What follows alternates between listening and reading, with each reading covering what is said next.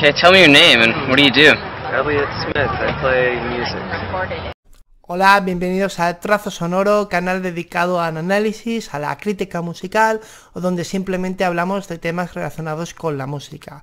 Hoy quiero dedicar un vídeo a un cantautor, a un músico que siempre me ha parecido extraordinario, una persona que nos grabó discos maravillosos, de notables y sobresalientes, que tuvo una vida bastante difícil y que lamentablemente nos abandonó muy joven a la edad de 34 años.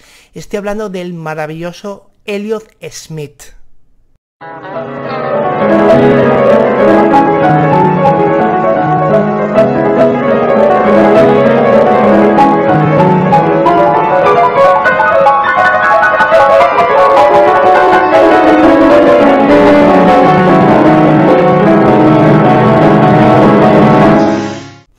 Steve Paul Smith, nombre real de Elliot Smith, nació en el estado de Nebraska, en Estados Unidos. Sus padres eran personas de un nivel cultural alto. Su padre, psiquiatra, su madre se dedicaba a la enseñanza.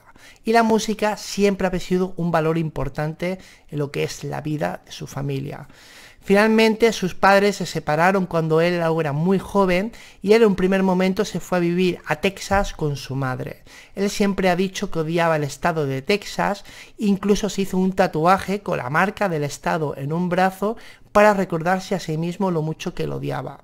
Finalmente, pues bueno, él tuvo que aguantar esta situación y su madre pues se volvió a casar y Elliot ha relatado en más de una vez, en más de alguna canción, de hecho también en una biografía, que él sufrió malos tratos por parte de una nueva pareja que tuvo su madre.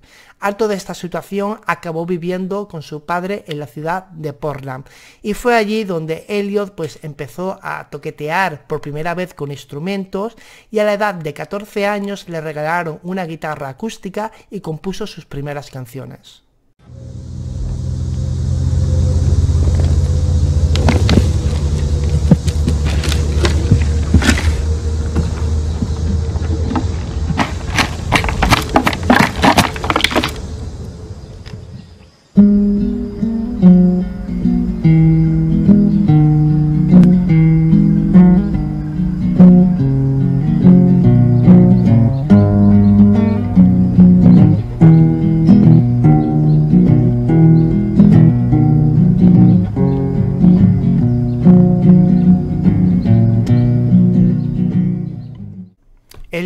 Fue un gran estudiante, acabó el instituto y llegó a la universidad, que allá donde empezó a conocer gente, tener amistades o amigos relacionados con la música. Él siempre ha dicho de que él estudió en la universidad, de hecho se acabó graduando de ciencias políticas y filosofía, un poquito por influencia de una novia que tuvo que le dijo tienes que tener algún título o algo en la vida, porque él en el fondo ya pensaba que le gustaría dedicarse al tema de la música, pero para tener otra opción si esa carrera, la carrera musical, iba mal.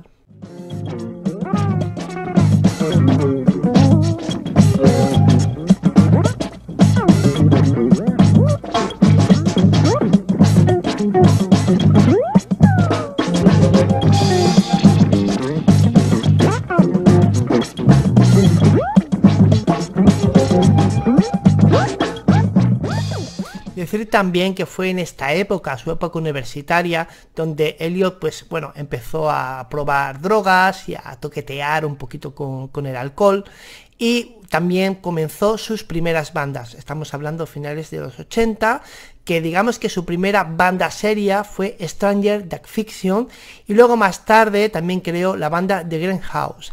The Greenhouse es curioso porque tenemos una demo y una demo en YouTube donde tiene una canción que es una versión temprana de una de sus canciones pues que tiene más éxito o al menos a mí que más me gustan, King Crossing.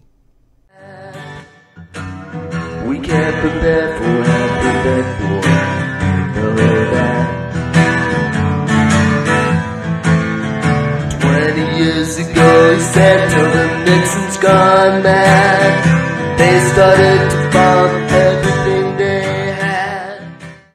Y bueno, fue al principio de los 90, aún con su carrera, digamos, universitaria, cuando acabó creando lo que es su gran grupo serio. Estoy hablando de Head Miser, un grupo también creado con compañeros de, de, la universidad, que tuvo cierta relevancia o cierto éxito, de hecho grabaron diferentes trabajos, entre ellos Dead Air, Cop and Speeder, Make Your Sons y el EP Yellow Number 5. De hecho, Had Myself, eh, bueno, pues firmó con una gran discográfica, con Virgin Records, pero Elliot eh, siempre desde un principio tenía muy claro que él lo que le interesaba o que le gustaría es tener una carrera de solista. En la época de Had Miser, Elliot ya empieza a grabar sus primeras canciones, digamos como un proyecto solo, solista, y esto creó diferencias en el grupo hasta que finalmente pues Elliot decidió dejar la banda. Wish I'd never seen your face.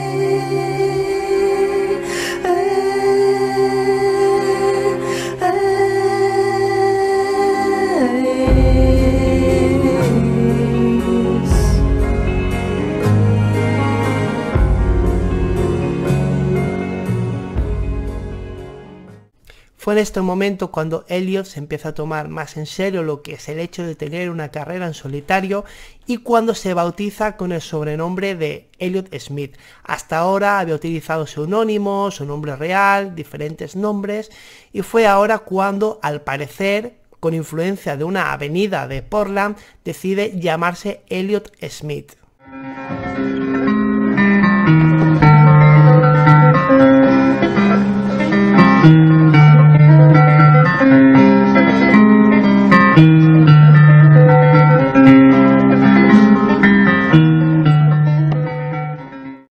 Alrededor de 1994 cuando Elliot Smith, ya con este nombre, decide grabar una serie de canciones con la idea de hacer pues una primera grabación, una primera maqueta e incluso un primer disco que, bueno, grabó en un cuatro pistas en su casa que eran canciones que a nivel de calidad de sonido sí que no eran realmente muy óptimas, pero sin embargo en la calidad de las canciones, la composición eran maravillosas y ya teníamos eso tan característico en Elliot que es esta especie de voz dual, pero que realmente es una sola voz.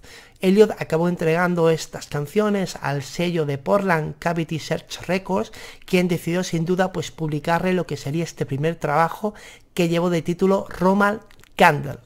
Are you filming all this? Yeah, why not?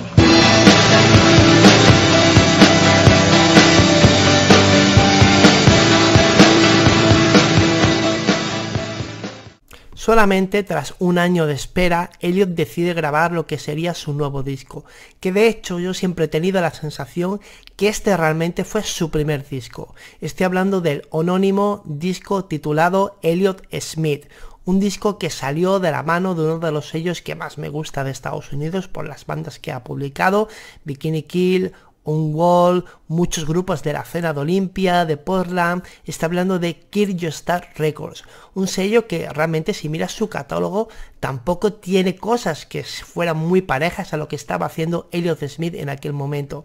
Sin embargo, el sello pues bueno, supo apreciar la música de Elliot y lanzar este disco que mucha gente de hecho opina que es el mejor disco de la carrera de Elliot.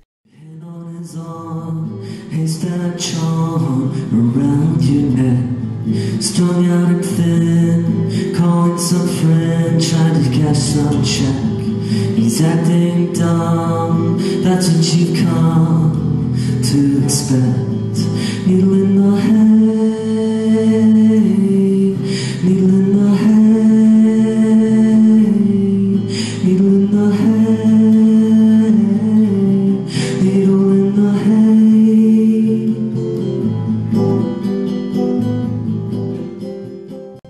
Hecho fue aquí cuando Elliot se empezó a ganar pues fama como un músico maldito, un músico con letras muy deprimentes, un cantautor, un compositor de canciones realmente tristes, bueno, muy melancólicas.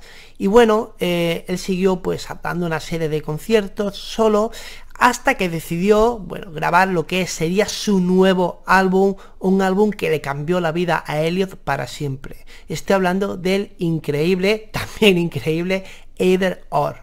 Bars 3.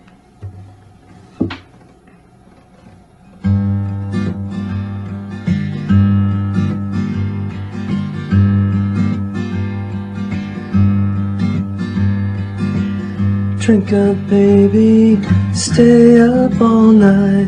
When the things you could do, you won't, but you might. The potential you'll be that you'll never see. The promises you'll. Digamos que este álbum cambió la vida de Elliot para siempre, porque aparte de que muchas canciones tuvieron un éxito más allá de lo que él había tenido hasta ahora, Between the Bar se convirtió en una canción pues que estaba en boca de todos los circuitos independientes de Estados Unidos, llamó la atención a un director de cine, Gus Van Sant, que le pidió a Elliot personalmente si podía utilizar una serie de sus canciones de este disco tan increíble para una película el indomable Will Hunting.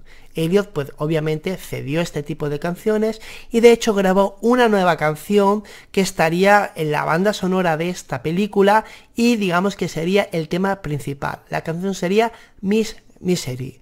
Con la suerte que Miss Misery pues fue nominada como una de las canciones para los premios Oscar en el año 1998, Miss Misery competía nada más y nada menos con la canción central de Titanic de Celine Dion, entre otras.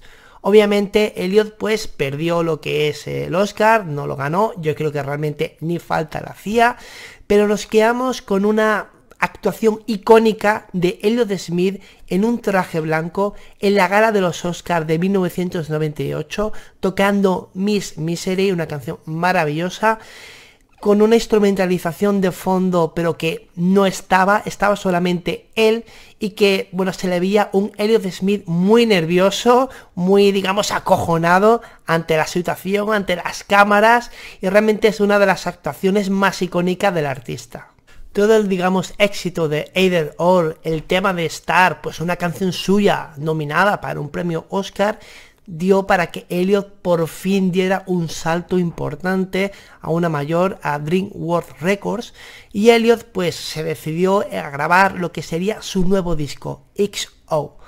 Este disco es un disco mucho más barroco, digamos que la carrera de Elliot a partir de este disco pues entró en otro terreno, es un disco con música muy barroca, donde Elliot pues nos demuestra aún más ese gran músico, ese gran multiinstrumentalista que es la calidad de sonido es mucho más mayor, más producido que sus discos anteriores y encontramos pues ese tipo de canciones más relajadas, más folk, más de guitarra acústica, pero Elliot también utiliza el piano como instrumento principal y nos regala melodías asombrosas y totalmente increíbles. También hay canciones donde la guitarra eléctrica tiene más presencia y nos renueva un Elliot que su carrera, como he dicho, entra, digamos, en otra fase y que nos sigue regalando, a pesar de todo, pues canciones increíbles.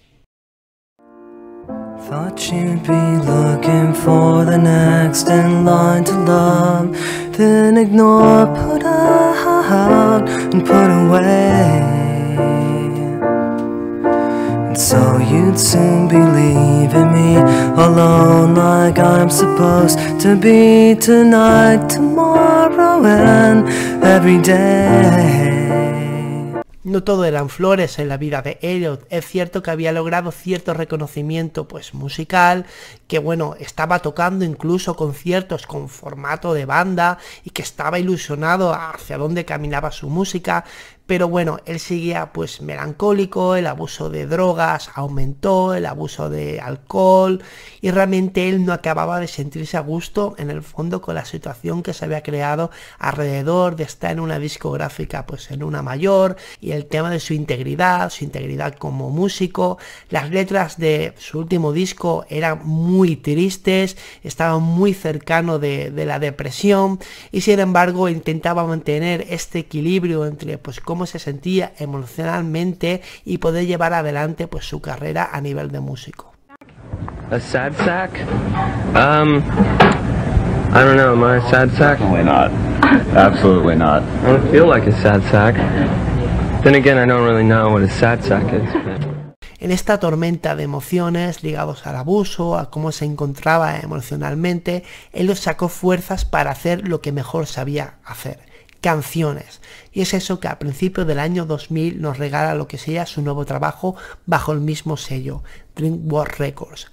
Figure 8, ese es el nombre del álbum con una portada totalmente icónica, un muro que bueno, a día de hoy es como el muro o el lugar para hacer memorial a la figura de Elliot, un disco muy barroco, un disco muy ligado quizás al power pop, que el piano tiene aún más presencia de lo que habíamos visto con anterioridad y sí, tenemos a un Helio más incluso multiinstrumentalista de lo que habíamos tenido en anterioridad.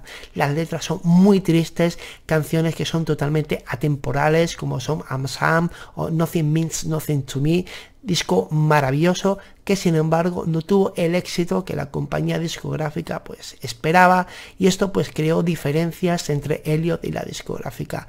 Él dijo muchas veces en alguna entrevista que se sentía prisionero de la discográfica por no digamos eh, lograr lo que ellos esperaban y que sentía que, que su música no le pertenecía a él sino que su música pertenecía a ellos y tuvo muchos problemas legales con el sello, se quería ir, de hecho se dice o se cuenta que él dijo liberaban su música o acabaría suicidándose. Él en estos momentos no se encontraba bien, a nivel emocional, por el tema de depresión, el tema del tema de las drogas, que fue más allá, se relatan cosas realmente, bueno, que no voy a hacer mención, pero que realmente son muy tristes. Y bueno, Elliot incluso quiso grabar una segunda parte, se ve de este disco, lo grabó con su productor de, bueno, un amigo de, de toda la vida, pero que sin embargo las canciones, pues él tuvo problemas con esta persona porque decía que él siempre iba al estudio pues drogado, bebido. Y bueno, Elliot acabó pues desechando estas canciones, no quiso que se publicaran y digamos que la vida de Elliot pues realmente iba peor, cada vez estuvo haciendo menos conciertos estaba en un momento bastante trágico.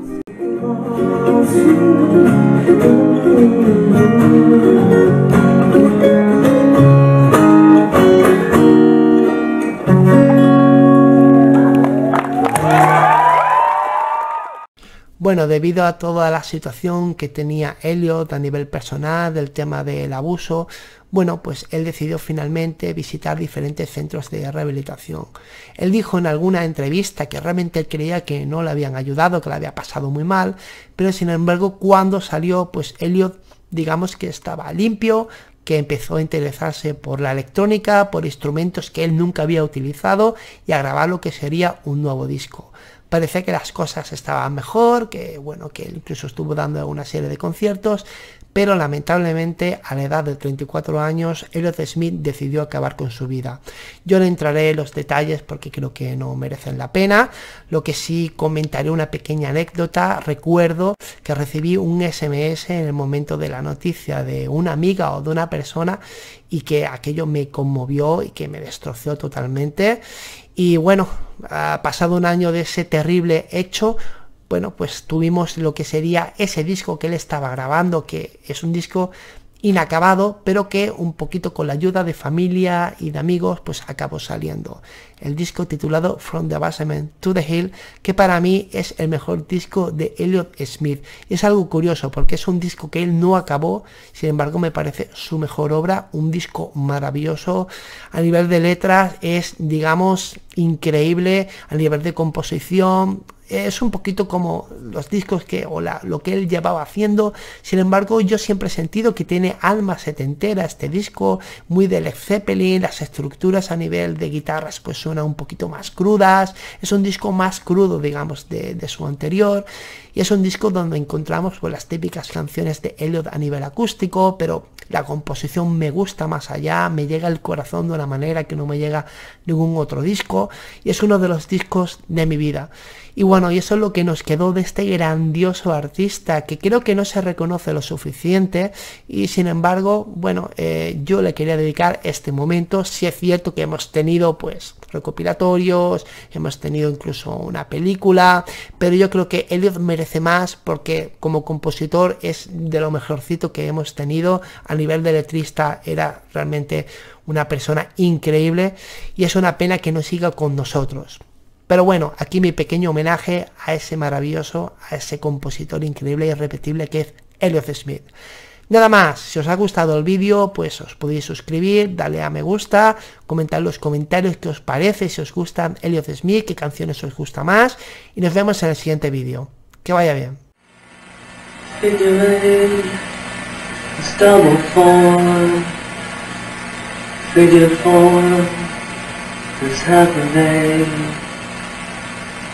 If you stay, you would be great. If you could make a figure eight, that's a circle that turns round upon itself.